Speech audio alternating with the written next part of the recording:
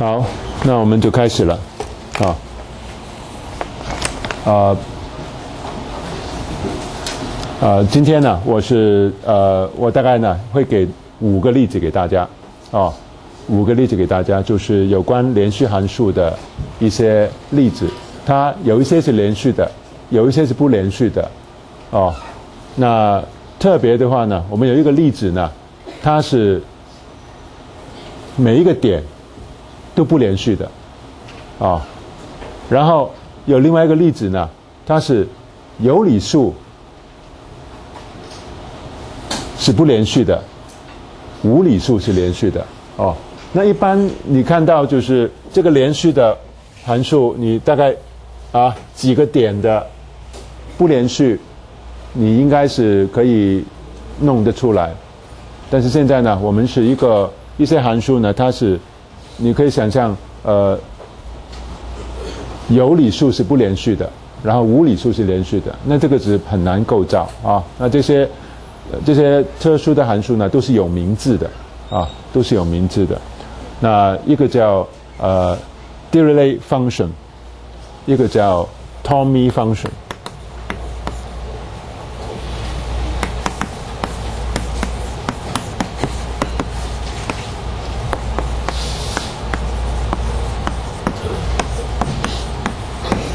啊，那第二类呢是大概呃也是十九世纪啊，十九世纪的德国的呃也是一个大家来的哈，大师级的一个一个数学家，他在数论呢呃跟我们这个微积分都都有很多贡献的。好，嗯，好，我们先来呃呃复习一下。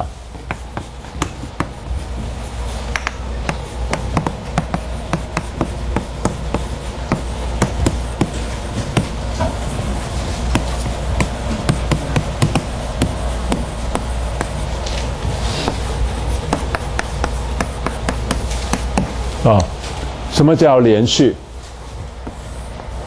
啊，这个连续啊，意思就是啊，我们用 epsilon delta 是比较呃一般的定义啊，就是存在一个 delta 大于零，而这个 delta 当然依赖于这个 epsilon 啊，呃，随便一个 x 在一里边，只要 x 跟 x 零的距离。小于 delta 的话呢，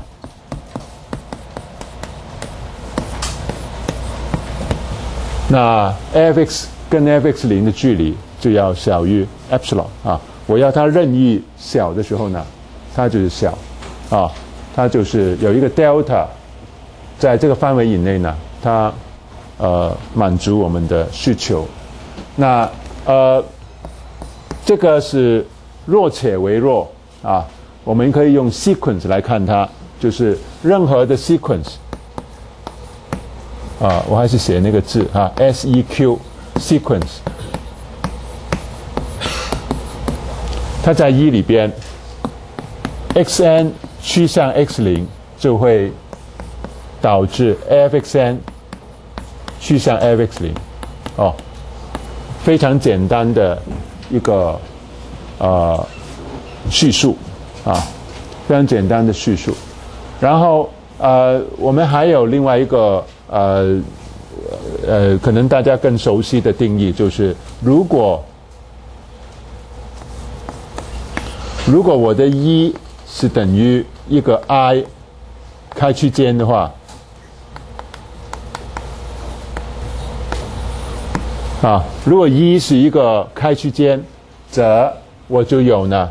呃，这个所谓的连续呢，是相当于哦，这个呃 limit f(x) 当 x 趋向 x 零，就是刚好等于函数在那一点的值啊。那这个就是呃连续的几个重要的呃等价的定义。那利用这些定义呢，我们是。呃，这些所谓的等价定义呢，我们是呃在上次呢就是讲了一些连续的性质啊，呃连续函数的性质，譬如说加减乘除，如果各自 f 跟 g 都是连续的话呢，加减乘除都是连续，这个我们知道。那呃，然后还有最后我们讲的合成，也知道哦。那今天呢，呃，我先开始的时候呢，我做一个简单一点的例子，啊，呃，讲这些连续，比如说绝对值函数，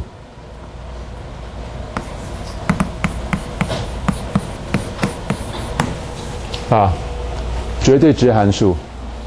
呃，我们画出来它，它根本就没断嘛，哈，所以它是，它是连续的，啊，那你用 epsilon delta 来证明这个连续呢，是蛮简单的，哦，因为我们看一看，呃，如果那个呃固定一个，随便选一个 x 零，呃，好，我先我的命题是什么？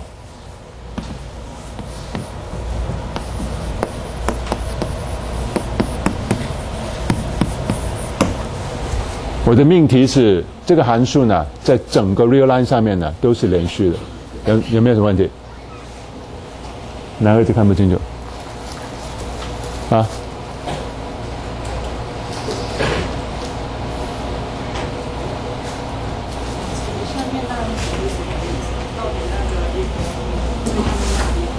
哦，是在这个。特殊的条件底下，他们是等价的。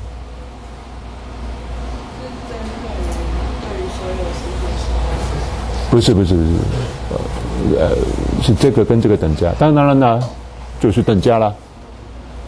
这两个是没有条件的。这个等价，我们呃星期一的时候有导过，是说，当我的刚好这个一呢是一个开区间的时候。啊，我每一个点都可以讲 limit，啊，每一个点可以讲 limit，那就没有问题了。那但是如果一是一些特殊的状况，比如说它是一个 B 区间，你的左端点这个 limit 是 undefined 的，是没有定义的，啊，我只能说右极限、左极限，所以我就不能这么简单的去去叙述这个所谓的连续，啊，对于。那些点，啊，对于那些点，那这个是一个更精确的一个描述，哦，那我们有一些一呢，是我这里一，譬如说是这个东西，或者是有一个一，我我我上次不是讲了一个一二三的例子吗？啊，那个怎么讲 limit 啊？那个认真来说，这个 limit 都不存在的，哪有 limit 啊？那有 limit 一二三三个点，啊，你在一附近有没有什么 x 啊？没有 x 啊，怎么有趋势？没有趋势啊，啊，所以这个某一点某某一个意义底下就是那个是自动连续的那种函数，我们是自动连续。如果你是割裂的，但是我们还有复杂一点的，比如说我 n 分之一走到零，那零这个点的连续。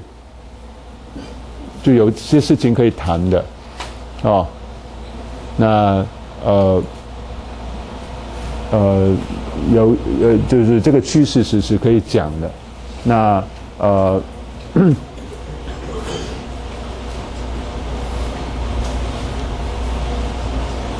是那呃总而言之就是说，你用 epsilon delta 呢是一个比较呃呃。比较一般的那个连续的那个这个定义啊，就在一般状况底下的那个连续的定义，它是比较一般的哦。那如果你是刚好是一些区间是开区间，就是 limit。如果你是 B 区间，从这个里的看法呢，我们上次也讲过了，就是说它是代表就是里边是 limit，左端点是右极限。右端点是左极限，是这个意思，啊，所以你也不能就简单的用 limit 来说，这个是连续的定义，那对于这个左端点右端点，这句话是讲不过去的。听懂我的意思吗？所以我们要看 domain，要看这个定义域。啊，如果定义域好的是开区间，三个都对。但是如果这个定义域没有那么好的是闭区间，那呃你要用这个来讲的话呢，就要很小心了。哦，其他两个都没有问题，是这个意思。OK 吗？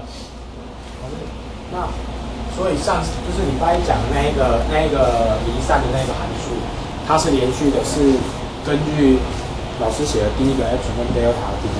所以如果就像老师讲的，那我如果要用用直线来看，就是用它的那个 limit 就是直线来看的话，它其实是不连续的，因为我没办法构造它在连续的那一点的左直线跟右直线。那个时候那个就不是连续的定义，它不满足这个要求，应该这样子说。不满足这个要求。是啊，但是你不能讲它不连续啊，它是连续啊，可以吗？老师，那所以你的意思是说它，所以那个函数的 domain 它不满足它的 domain 是是一个 open 是啊，是那个时候我们就不会说这个就是连续的定义，我们不会这样说，所以我这个定义是一致的。哦，我讲这个的时候，就是说，当这个 limit 是可以讨论的时候，你的定义域使得这个 limit 是可以讨论的时候，那你这个是有效的。当你的定义域是所谓的不好、不好的，我不能讨论这个 limit。比如说，你这个定义域是只是在右边有点，左边都没点，我根本不能讨论 limit 了。这个 limit 自动就是根本就不可能存在的，啊那我就不能说这个就是连续的定义啊。哦，所以我我所以我们这个定义是有局限的，有局限的，可以吗？哦，那呃，这个这个状况呢，就是 n 分之一这样子，我们走向零呢是比较少见，但是这个状况是常见，啊，所以我们要讨论的。哦，所以他也会这样子讲，就是说你是连续在一个 B 区间是什么意思？就是说你在中间是是连续，呃，中间是有 limit，左边这个这个等号就变成是右 limit，在 B 那个点，比如说这个是 A B B 区间，就是左极限存在，那就三个条件，啊、分三段来说，它是连续。那当然也是等价嘛，啊，因为呃呃星期一的时候，事实上我有讨论过这个状况啊，哦，就是一样的东西啊。那呃看不同的书，那无论如何，就是 epsilon delta 是最一般的啊。那当然各有它各有各这里呢各有各的好处啊。那呃呃我们也不能否定别的呃某一些状况，这个是是有它的方便性在里边。OK，所以这三个。都应该要记下来的。啊、OK，我们回来这个，啊、啊、你当然可以用 limit 来定义，因为这个 R 当然是一个开区间啊，你可以用 limit 来定义，呃，也可以用 epsilon delta。我这里呢就取 epsilon delta，那就是呃，你是你要对每 R 每一个点都连续，所以呢，你先固定一个随意的点。啊，这个 x 零是随意的，那我希望就是 hx 啊，这个呃跟我们的那些呃前面的那些做法呢是一致的。我希望这个 hx 跟 hx 零是接近啊，先估算一下它们是什么东西，它们是 x 绝对值减 x 零的绝对值。哦，那呃这个不等式呢？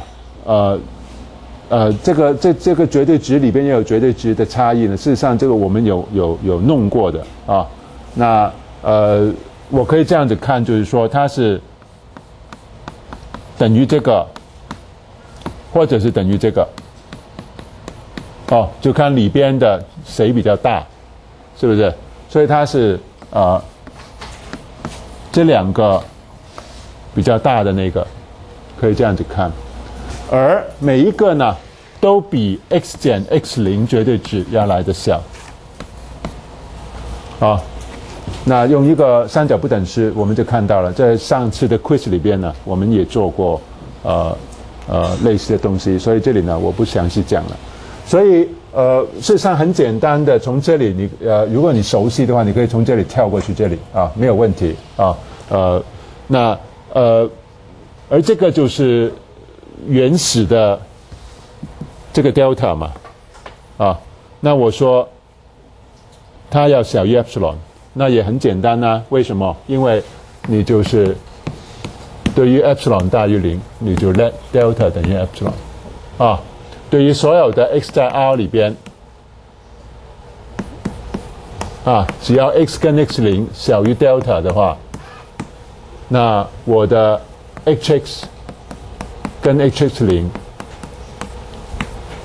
啊，就是。小于等于 x 减 x 零，小于 delta，啊，那我的填充游戏呢就就完成了，啊，啊，我这里写的比较详细，那你你如果挑掉一两行，事实上是 OK 的，尤其是重点就在这里，啊，那如果你现在熟悉的话呢，我希望就是说大家同学可以啊越来越简略，那个是好事来的，啊，这个填充题是。是乘的，这个是大于零，然后 x 减 x 零这个，哦，那就啊，结论就是 h 呢这个函数呢 is continuous at x 零。那既然 x 零是任意的，所以它在每一个点都是。都是连续，我们就说它是在 R 上连续啊。Since 呢，呃，一般的书都会写这句哈，那这句呢，有时候我们会漏掉，就是是任意的。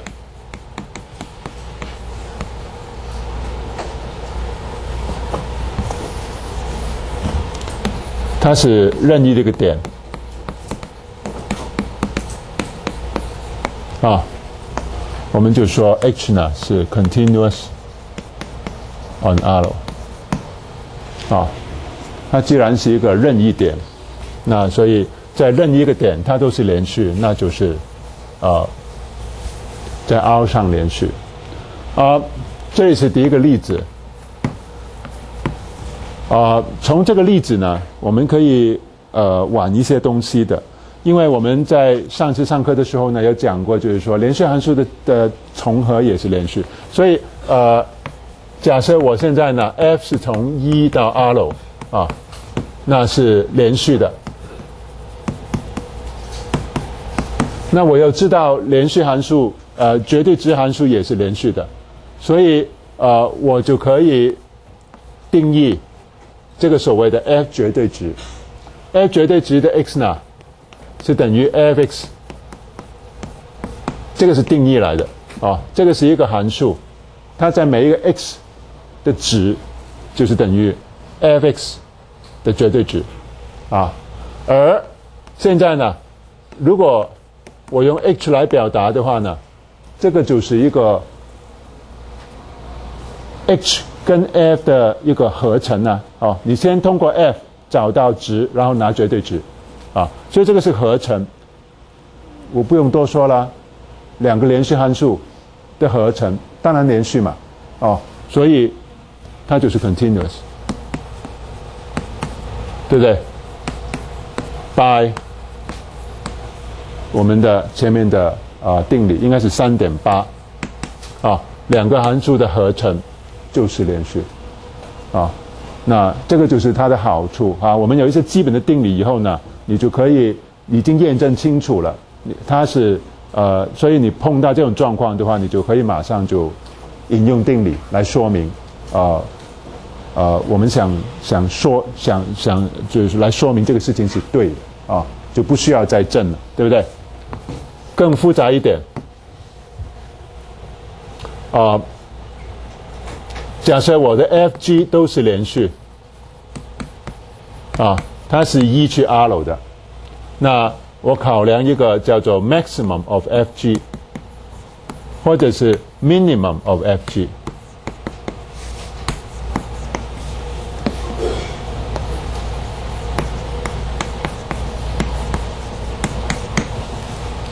啊，我说它们事实上都是连续函数。啊，怎么看这个事情呢？我们可以呃画一个图来看一下。刚才呢，我们这个 f 绝对值是什么东西？呃呃，我要呃用用这个来看的话，就就就很清楚了。这个 f 绝对值就是将负的东西，如果这个是 f 啊，这个是有点像 cos 函数哈，实际上无所谓的。那你你就是将负的东西翻去正，对不对？啊，那就是呃所有的大于零的，这个就是 f 绝对值函数啊。那如果你是 f 的 f 跟 g 的比较大的，比如说假设这个是 f 函数。这个是 g 函数，那它的所谓的两者较大的函数，这个我想呃呃，应该应该是非常直观的，是指什么呢？是指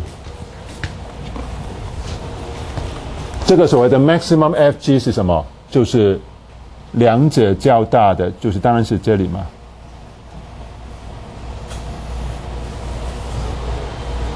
是不是？啊？在同一个定义域上面，这个这个呃，举射的就是所谓的 maximum fg 啊，他们会断吗？哦，你你你就看这个图，就大概你会猜得出来，它不会断啊，它是连续的。但是怎么证呢？如果你真的是用 epsilon delta 或者用 sequence 或者用什么东西来证呢，都蛮累的啊。那如果你有看书上的习题的话呢，实际上有一道习题就是我们有一个 trick，啊，这个 trick 就是这个所谓的 maximum 呢，啊，事实上可以用这些绝对值啊、加加减减啊、乘乘除除来给它表达的，哦，那呃。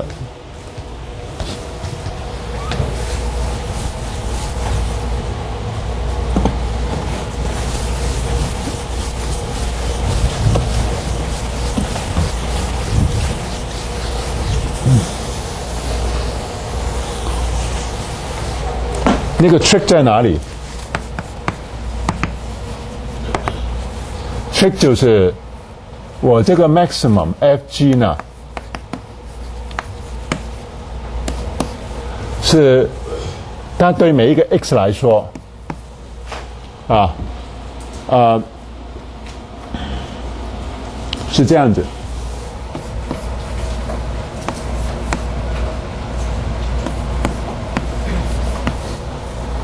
我要看谁比较大，呃，我我事实上不用写 x 了啊，这样就比较简单。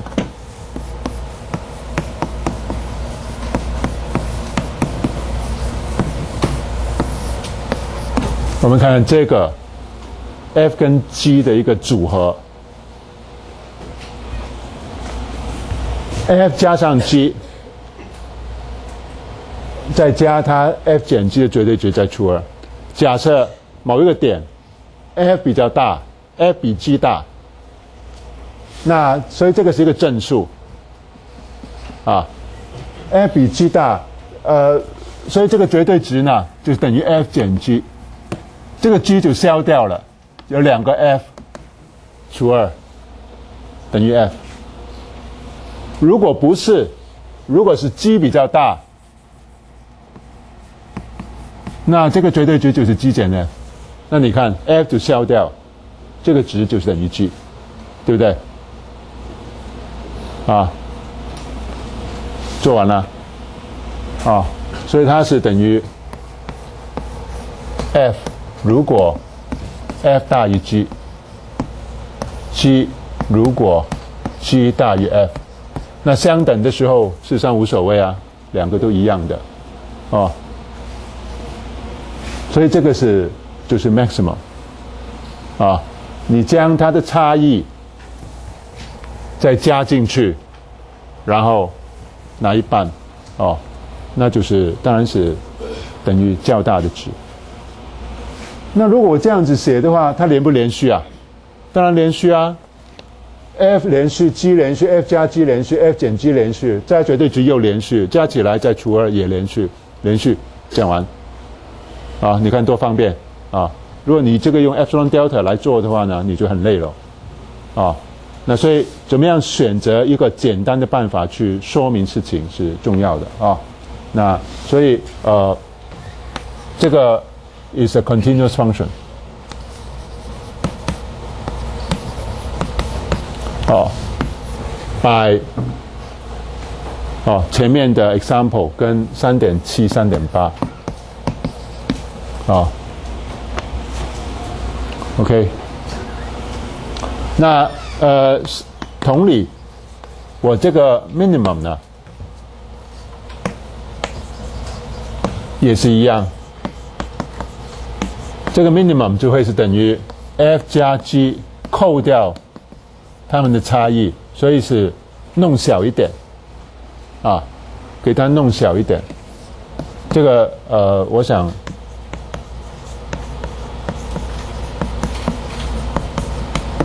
呃，不用多解释了啊。当然呢，前提是，前提是他们每一个都连续哦，啊，这个是前提啊，才有这么好的性质。那呃，OK，所以这个是第三个例子。那这个例子是有趣的，呃。但是还不够精彩，我们下面那个例子才精彩。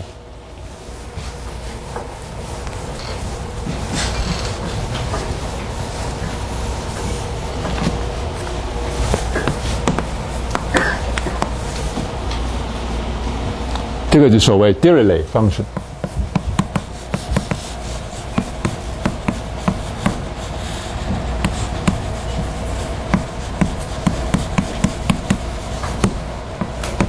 Dirichlet function，嗯，它怎么定义呢？它是是这样子定义的。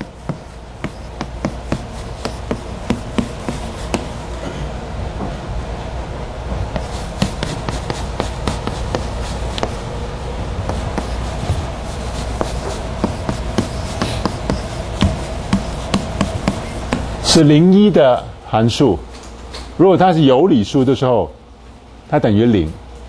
它是无理数的时候，它等于一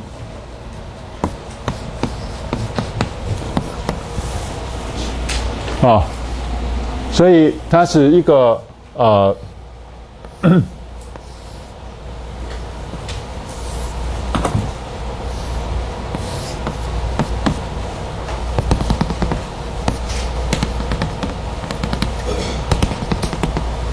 啊。密密麻麻的点，在零那个地方跟一那个地方，啊，但是呢，每一个点都有洞，啊，这个函数是连续还是不连续？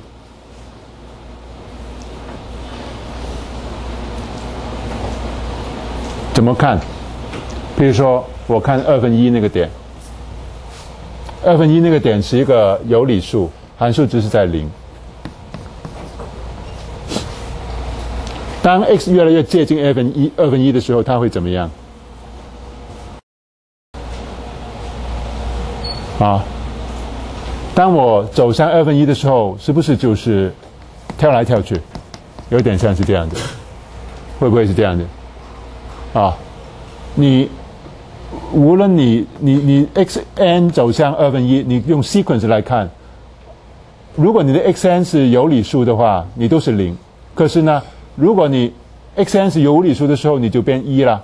所以，呃，你如果连续的这样子看的话呢，有一点像是跳来跳去的，而且一跳就跳一格，而不是说你如果是，比如说你跳来跳去，慢慢的啊平息下来，那就还 OK 啊。这个也可能是连续，但是你这个是定量的跳跳跃，所以呃，大概就不会是连续。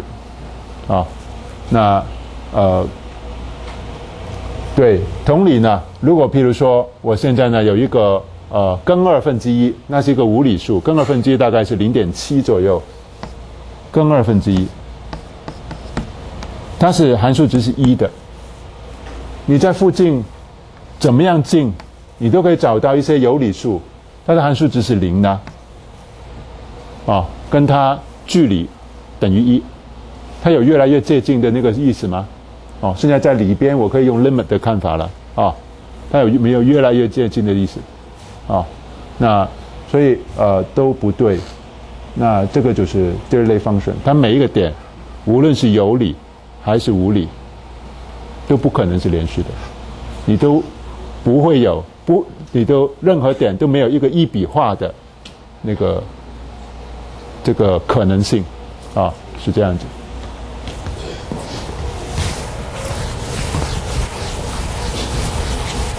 好，要说明这个现象，用什么方法会比较好？那我想也蛮明显的，用 sequence 来讲这个呢是比较好。啊，有问题吗？啊，用 sequence 来讲这个东西是比较好。所以我的命题是什么？我的命题就是 f 在任何一个点。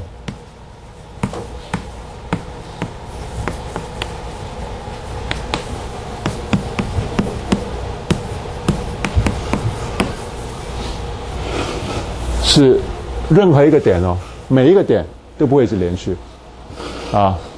那我们看到有几个点不连续的函数蛮多的，但是每一个点都不连续，那这个是呃相对来说就比较难找了啊。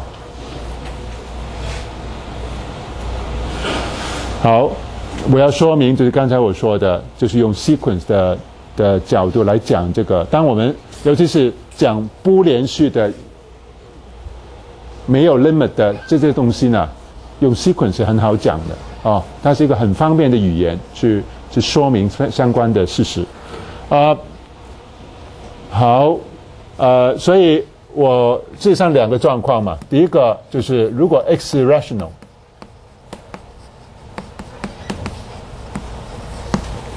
啊，那我可以找一个 sequence，比如说 x 二分之一啊。我可以找一个 sequence 去逼近它，这个 sequence 是不是保证的？当然保证，因为，呃，以二分一来说，为什么？因为就是，呃，我我我的意思是这样子，我要说明它不连续，我怎么说呢？我找到一个 xn 趋向二分之一，然后这个是有理的，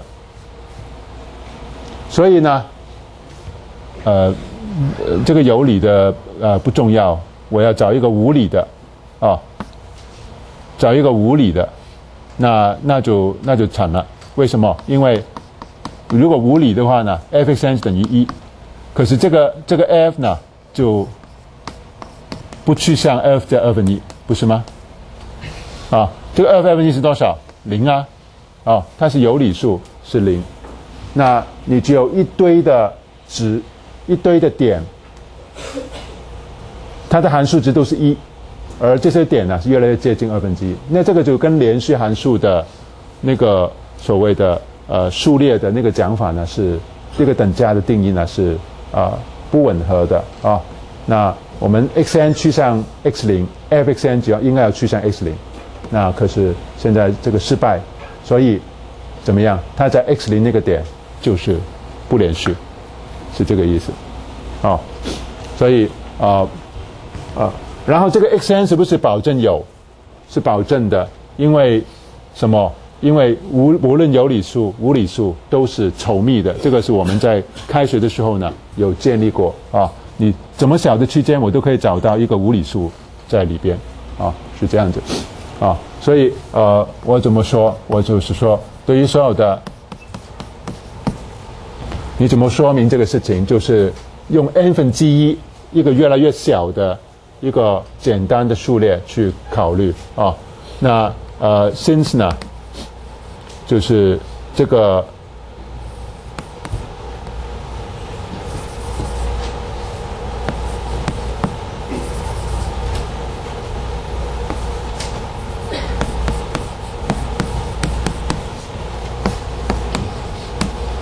这个无理数集合是在 r 上稠密。我们就是可以找到一个 xn，xn 是在什么？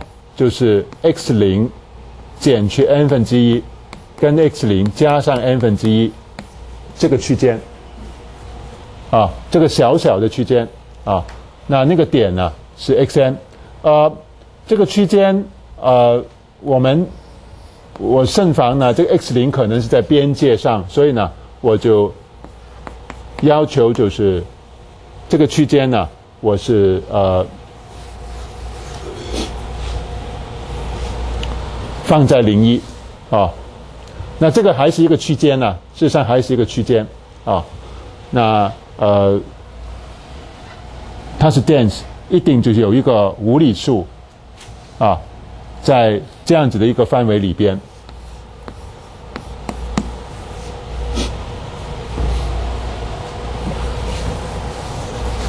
就是教这个。我想就就就就这样子说吧，啊，这个无理数，啊，这个 x n 是成立的，所以啊，so 就是这个 x n 呢是一个 sequence，啊，每一个 n 都做这个，我就组成一个 sequence，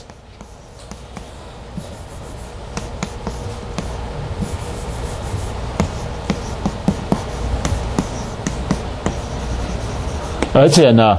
这个 x n 是 x n 是跟 x 呢是距离是小于 n 分之一，从这里我们可以看到是这个样子，呃，意思就是这个 x n 呢是要趋近于 x 零，啊，那那就 OK 了，因为呃 x n 虽然趋近 x 零，可是我的 f x n 既然它是无理数，它一定是一。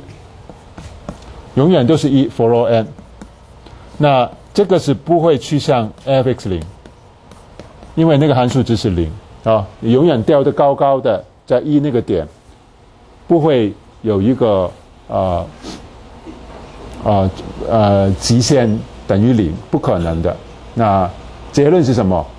这个 f 就不可能在 x 零这点连续。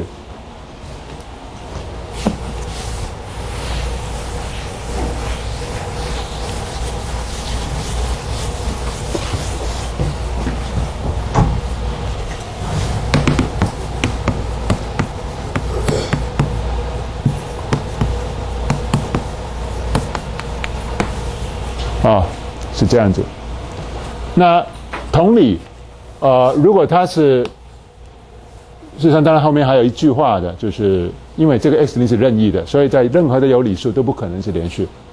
那呃，同理呢，如果 x n 如果 x 零是 irrational，它是无理数，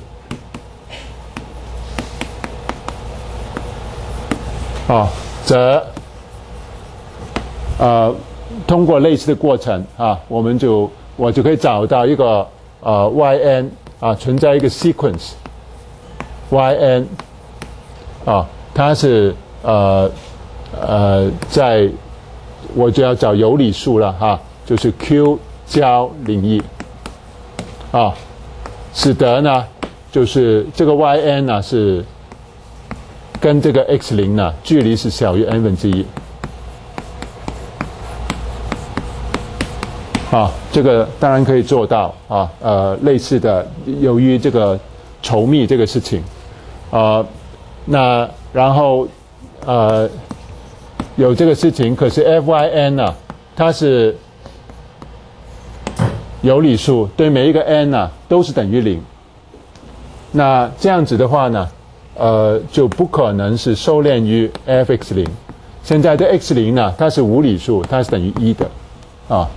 是这样，那结论是什么？就是 f 也是，也我应该说也不是在 x 零这个点连续啊。那结论它在每一个点都不连续，是不是？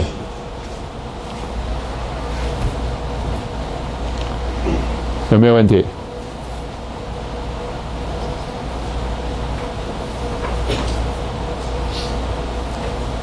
有没有问题？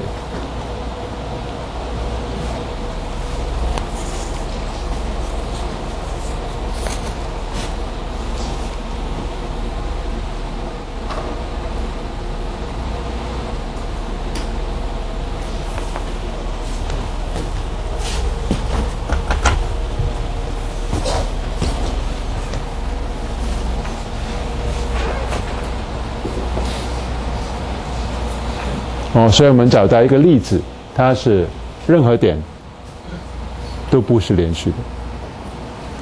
哦，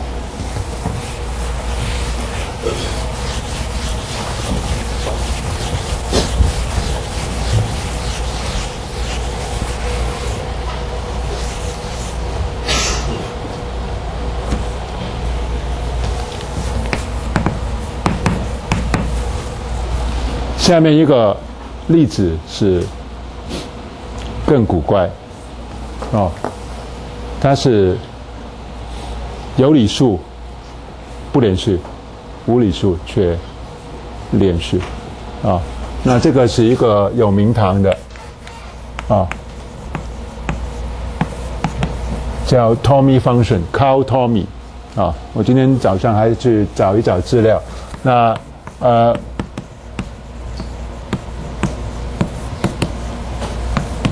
当然，Riemann 就比 Tommy 要来的有名啊。有人叫，也有少数人呐叫 Riemann Riemann 函数，但是，呃，现在是越来越多人还是将这个功劳归结在 Tommy 身上哦。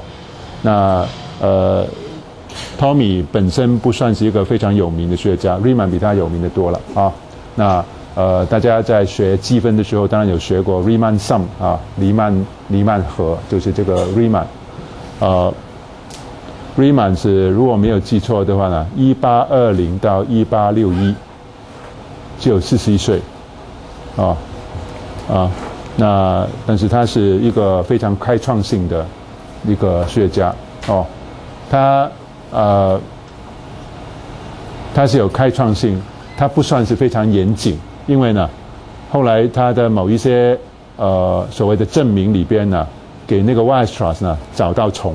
啊，Weierstrass 给了一个反例，你这样子推导是不对的，啊，主要是说你用的这些级数有可能是发散的，哦，那在 Riemann 的时候呢，当年的时候呢，他们没有什么收敛啊、发散的那种概念，他们反正写成一个一个 series 就 OK 的，但是 Weierstrass 是一个就是呃一个以严谨有名的一个数学家，那他就呃提出了很多例子，啊，所以。呃，现在呢，我们做 series 的时候呢，做级数的时候是非常小心的，加减乘除啊，啊，呃呃，它的收敛区间啊，这个是我们这个学期的最后一个课题啊。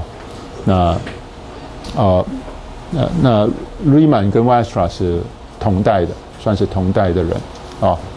那是是是是这样子，但是呃，Riemann 无论在几何啊。在微积分上面，当然贡献是也是非常大的啊，在他算是短短的生命里边啊，那是呃 有很多火花在里边啊，嗯，这个函数怎么定义？呃，也是零一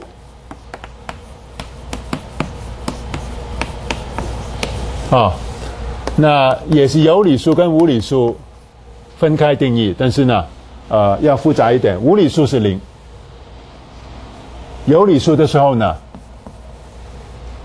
是一个 p 分之一，啊，呃，是怎么样子？就是它是 p 分之 q，如果 x p 分之 q，函数值就是 p 分之一，啊，这个 q 呢，它就去掉，是这个意思。那呃，而且呢，这个 p q 呢。是一个我们叫做是画到最简的啊，他们没有公因数的啊，英文呢就叫 reduced form 啊，是这样子一个定义。那然后呢，这个是 x 呢是在是一个无理数的时候呢是等于零，所以呃这个函数是。是怎么样子？这个函数是，它无穷点是等于零，啊，然后呢，其他的点呢就游离点呢就复杂了，它大概是这个样子，它这个是一分之一，然后这个是二分之一，然后它一的时候。函数值就是等于三分之一，它在三分之二的时候，函数值也是三分之一，同样高度的。然后四分之一的时候，呃，有一个四分一跟四分之三，因为四分之二呢只可以画得更简，它们同样的是四分之一，这个点就是四分之一，啊，然后五分之一、二、三、四。啊，六分之一、七分之一、八分之一，啊，那个值呢，越下呢是越多，啊，所以这个合起来，这个是不是函数啊？当然是函数啊，啊，因为它是呃每一个点定每个定义域都有值啊，而且是清清楚楚的哪一个值，它是一个函数，它是连续吗？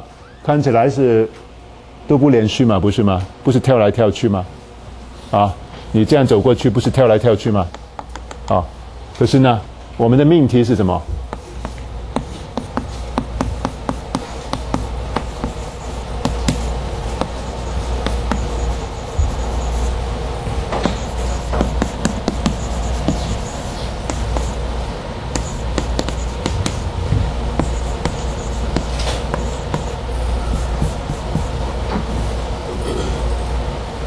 啊，我我这样子写吧。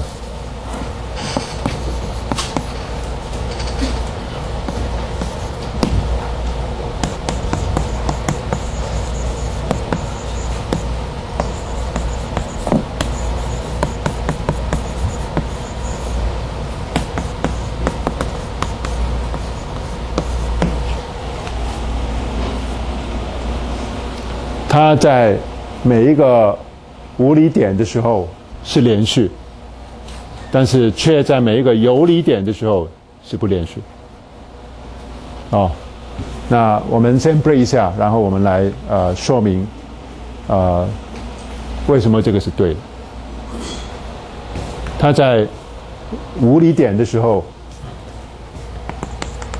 无离点的时候函数值是零，是连续的。它在游离点的时候是不连续，这个游离点不连续是比较简单的，因为比如说你在你游离点每一个点呢，它都是吊在上面，它附近有很多无离点，函数值都是零，它跟它都有一定的距离，啊，都有一定的距离，这个距离不会越来越小，所以函数值啊有一定的距离，不会越来越小，所以呢啊是不连续，这个是合理的，但是它在无离点的时候呢，却是。连续的，哦，我们先 break。